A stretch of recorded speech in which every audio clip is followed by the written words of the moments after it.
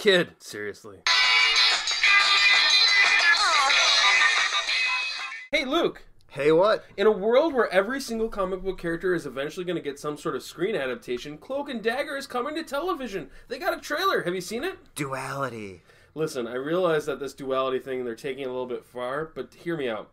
Uh, the show looks like it's a pretty faithful representation of a pair of pretty interesting, obscure characters, and we know that Marvel can do pretty awesome things with obscure characters talking baby trees and snarky, drunk private investigators, for starters. They're opposites. Listen, I'm not saying it's going to be good, but I am saying that I'm going to give it a shot. I am the man, after all, who watched the entirety of the Smallville series. My stamina is high.